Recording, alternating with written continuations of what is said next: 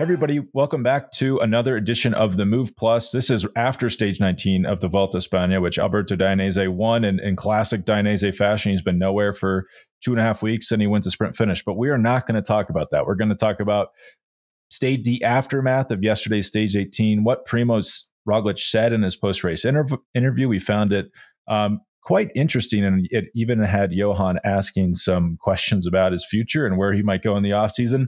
But first, let's hear from our sponsor. We've been telling you about our partners at Manscaped for some time, but we never really talk technology, right? It's like, what are, am I using here? I'm here to tell you that the Lawnmower 4.0 trimmer with advanced skin safe technology uh, works at reducing nicks and cuts, which makes taking care of everything uh, a lot safer. You want to use the best technology. And uh, another part of their technological masterpiece, it has a 7,000 RPM motor, multifunctional on off switch that can engage a travel lock and a built in 4000K LED spotlight to help you see what you're doing. And their performance package comes with things to cool you down, like the crop preserver and the crop reviver. Once you start using these products along with your manscaping, you'll get it. You'll start using them as a regular basis. You'll love it. You're actually going to love it. And the Performance Package 4.0, which is one of the options, caps it off with two free gifts the Manscaped Boxers and the Shed Travel Bag, which I use that travel bag for not only my Manscaped equipment, but all my other toiletries now.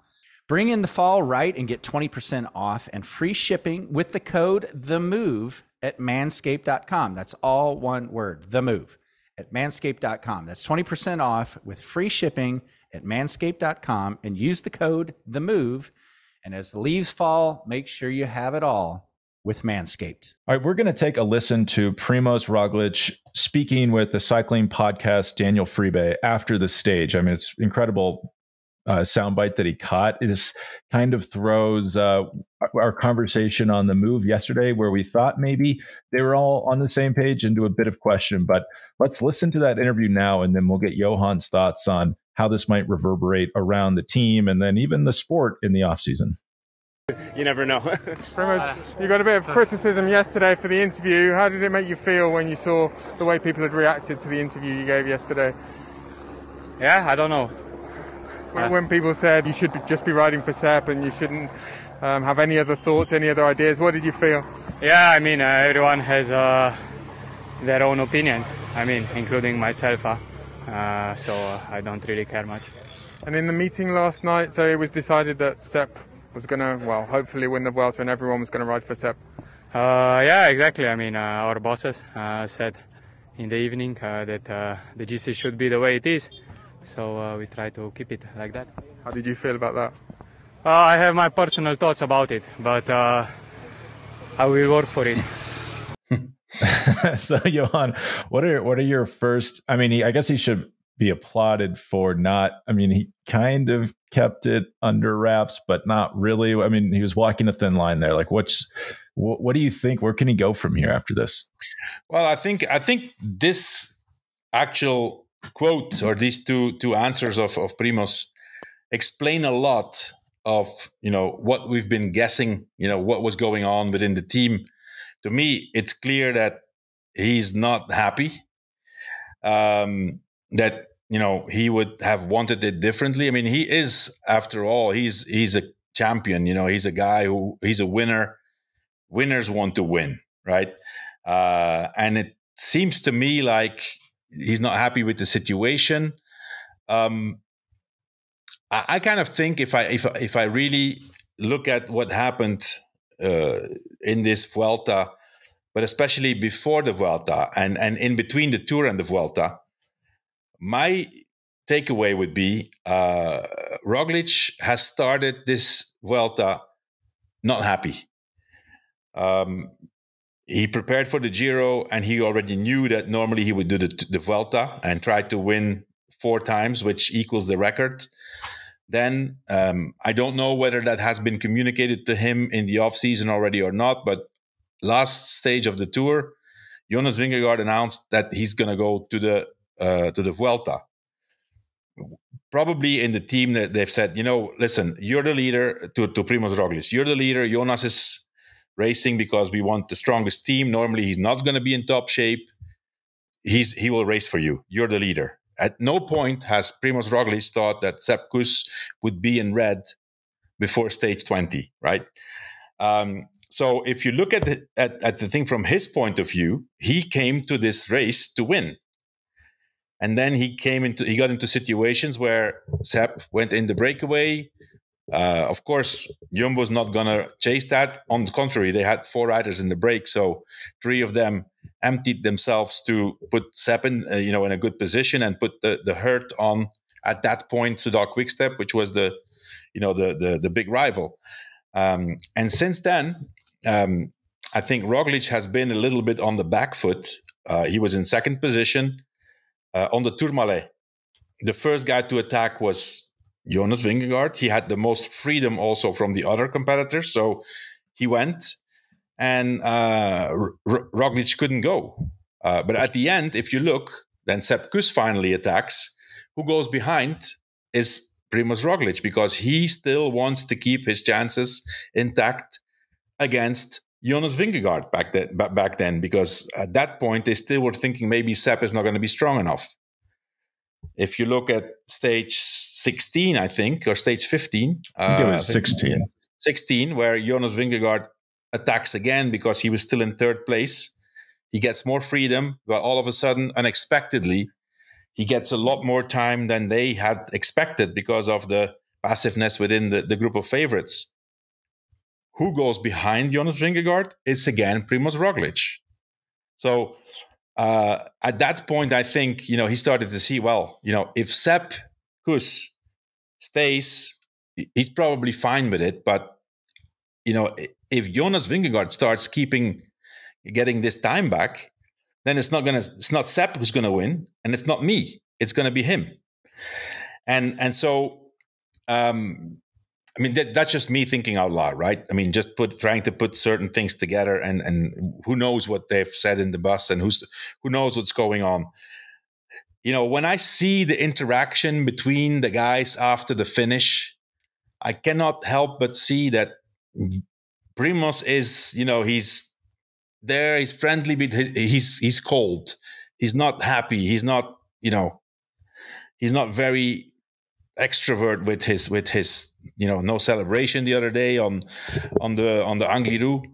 Um, and I personally think it's more. I'm not going to say it's it's bad, but there's some kind of competition or some friction going on between Jonas and Primoz. Uh, that's what I think, and um, and yeah, I mean, now, I mean, I was surprised to hear this quote from him yesterday saying, Hey, I have my own thoughts about it.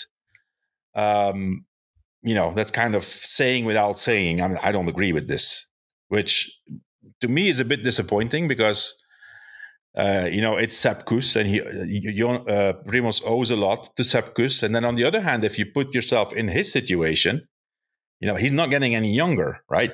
and the new generation is coming and very fast and he knows that every grand tour he's going to start it's going to be more and more difficult so of course you want to win grand tours um, I, cannot help but think spencer that this is kind of the warm up towards Primoz looking for another team next year even if he still has a contract you know because if you think uh, if he still wants to have a shot at the tour, he needs to change teams.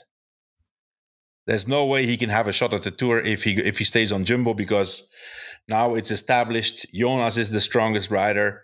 He's the leader. Uh, the, the, you know, if if Primoz goes to the tour, it's to be the second leader in case something happens with Jonas. And I don't think that at this point in his career, Primoz Roglic wants to be in that situation. That's that's what I think. Well, yes, I, I think you're right. And then to defend Primoz a little bit here, obviously, I don't totally understand him saying that after stage night or sorry, stage 18, because what was the plan? What you're going to drop Sepp Kuss and gain a minute on that climb? At that point, I think it's just it is what it is. Sepp Kuss gained so much time in that breakaway back on stage six.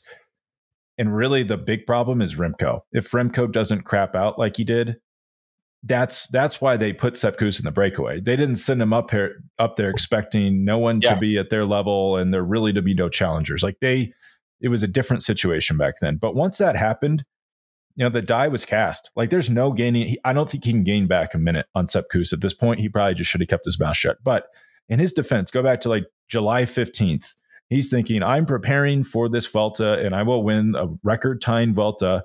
And I deserve this because I was basically chased out of the tour team. There was no space for him at the tour.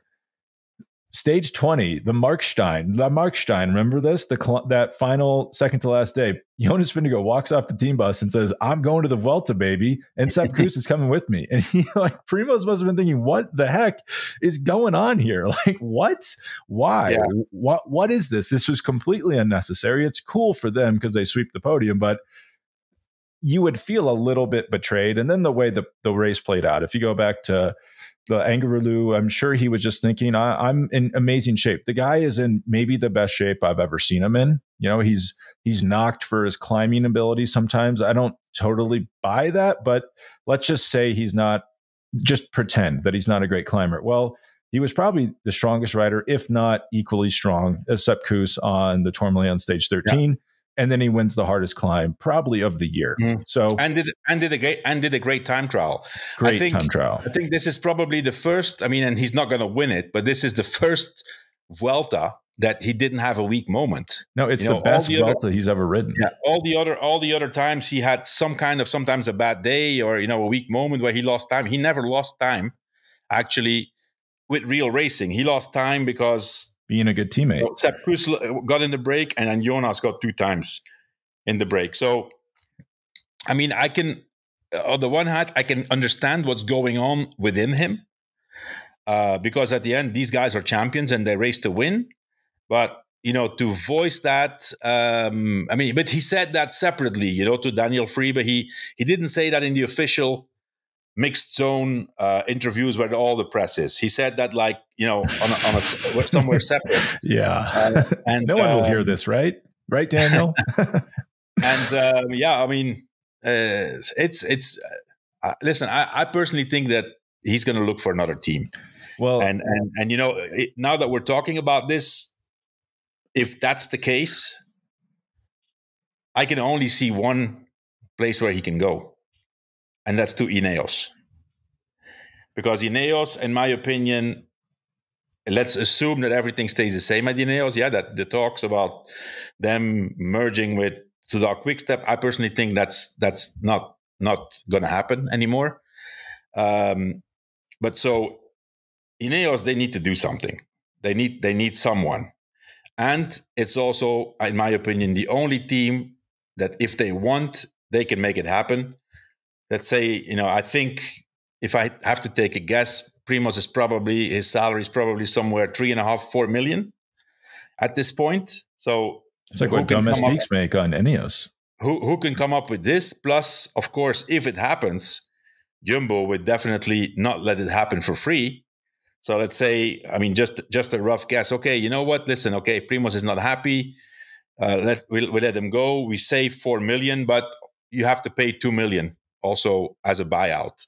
It's a six million euro benefit operation for Jumbo, uh, and Ineos get their rider that they want to, you know, to be competitive again in the Grand Tours. And he, so is, I think it's a great. I, I think it, they should do it. I mean, I don't know the relationship personally between Jonas and Primoz, but just professionally, it doesn't seem like this is tenable. Mm-hmm. Like, why would they be able to coexist? They're probably two of the three strongest Tour de France racers in the world. Yeah. Shouldn't well, they I mean, both be competing for that? It is. I mean, at some point, it, it makes sense if Primoz wants to have a go at the Tour. If he doesn't, then he's perfect where he is. You know, if he wants to keep try, I mean, win another Giro, win another Vuelta, hey, that's the best place he can be. But you know, the Tour is the Tour. You know, and he won the Vuelta three times. Now he won the Giro. He still, in my opinion, wants to have a go at the tour. And then, you know, to to to finish this this topic, Spencer, I would like to add that, you know, at no point have I actually seen Jonas Vingegaard do something against the team interest. Uh, and I think especially the last few stages, he made it very clear by his way of racing that he absolutely wanted Sepp Kuss to win the Vuelta. He was the guy who was pacing uh, yesterday uh, on the climb at the end, you know, he didn't really insist. He just, you know, he lost a few more seconds just to make sure that, you know, the eight seconds, nothing happens there. That, you know, instead of eight, it's 17 now. So it's better in, in case there's a gap. So I think we have to applaud Jonas Vingegaard for really playing the game, the team interest. Uh, and I haven't seen that from Primoz. Primoz on the Angliru, he never looked back and he just went. And and the fact that Jonas stayed on the wheel was, in my opinion, to make sure that Primoz didn't win the the Vuelta. I think so. I think so too. And it's almost like two boys who have been like doing something bad to young kids and it's like one is like well i was just following the other and then that's what sitting up yesterday almost signals where it's like i mean he showed a lot like i don't have any appetite for this win i was yeah. just in the wrong place wrong time yeah no i think personally you know we, that jonas is you know he comes across and you know he's sometimes you know titled as being cold and not being uh, very friendly. But but from what I hear within the team, he's actually a really good guy, a really good teammate, and and I think he really he really wants Sepp to win this Vuelta. Um, Primoz probably also, but he would he would have preferred to win himself. Yeah, and I can completely understand that. I think he got blindsided by this. I don't. And I'm happy Sepp won, but it's not totally fair. It's probably not what he was sold. He hasn't won yet. True, but, true. But you know, so just to press you on one detail before we go. So there's two years left on his deal at Jumbo. Let's assume it's four million euros a year. Like, does he can he just slap down eight million euros on Richard Plugge's desk tomorrow and say I'm gone and then go find a new team, or does that not is that not exactly how that works? What do you mean? Like, could he just pay the remaining balance? No, of his no, that's not contract? the way it works. No, no, no, no, no, that's not the way it works. That would be a sixteen million dollar operation for Richard Plugge if he just lays eight million there. So you because can't it, just it's buy. Eight, it's, eight, it's eight million you don't have to pay, and on top of that, you get eight million. That's sixteen yeah. million. No, well, that's so, not, no, that's not the way it works. I mean, for I, th- I, I personally think it's there's nothing foreseen in the contract, but you know, at some point you start to consider, hey, you know, how healthy is this situation? You know, and then on top of that, if this is a super expensive rider, and say, okay, let's find a solution. Let's sit down with you know Primoz and his agent and say, okay, you have you have a possibility to go. Okay, you want to go to Ineos? Okay, fine. Primoz will for sure go there for the same money, and then let's negotiate some kind of compensation for them to let him go. It will be you know, it won't be the two years contract. First of all, as for now, the four million for 2025, they don't have it because they don't have the sponsor for 2025 yet. At least as far as yeah, we know, maybe yeah. maybe they're going to communicate, you know, at the end of this Vuelta that they have a new sponsor. That would probably be, you know, the right time to do it. Uh, and you know, and the Dutch, the, the Plugge and his communication team, they're really good at communicating like when it matters. They don't follow, you know, the emotion of the press and the fans and the social media. They are, you know, they're really structured. Um, and so I wouldn't be surprised if the last day uh, at the Vuelta they announce a new sponsor. Wow. Yeah. Um, you know, and, and I'm looking at the Ineos roster for 2024. This is not complete. I'm sure things are are signed that we don't know about, but they have 15 riders under contract. That's not enough, by the way and they have zero. Let's assume Carlos Rodriguez is with them. They have zero yeah, riders that could win the tour next year. That's a problem. Mm-hmm. And they maybe have one rider that could podium a single grand tour. That's not good either for a team of that caliber. So I wouldn't be shocked if this, if we're back here doing a Move Plus in November emergency podcast, Primoz just went to Ineos. I would actually be surprised if that doesn't happen. It is really strange also that there's only 15 riders. Uh, that actually makes me a little rethinking, reconsidering that you know that potential merger. Well, they also do stuff. They they could have like deals signed under the table that we don't yeah, know about. Yeah, yeah, yeah. You know, I'm just saying that that merger wouldn't happen with Soudal Quickstep and and Ineos because Soudal Quickstep keeps announcing new riders. You know, today they announced yeah. a new rider again. Last week, two more. Of course, other riders left, but um, I, I think you know they would have close to 40 riders now if they would have to merge both both teams, and that's obviously um, you know, a problem. But then, you know, I've heard somewhere a little bird told me that there, there apparent there's apparently a project registered at the UCI of that merger with 30 something well, riders. Maybe so, it's um, Ineos plus another team. That's not Quick Step. No, no, no, no, no. It would be. You don't think step. so? It would be Quick Step. They, they want Remco. now imagine this: Remco and Primoz in the same team. I mean, yeah. Then, then we're back to the same thing. I mean, this is where the whole thing falls apart. But yeah, judging from what Primoz saw from Remco, he might not view him as a threat at the tour next year. I, that's also a possibility. I don't know. I don't know. We'll see. We we're just we're just thinking out loud. We don't have any information. It's just you know. Um, but yeah, I thought it was interesting enough to you know to have a debate about Primoz's reaction after yesterday's stage. Well, I I agree, and I I mean I think he's fit enough. He's shown that he's fit enough that I think he should be going for the overall win at the tour next year. I think fans would win, the sport would win. I hope they can make it happen. And thanks, Johan, for sharing your thoughts. And we'll probably be back um, again before this is done. okay. Thanks, Spencer. Speak soon. All right. Bye.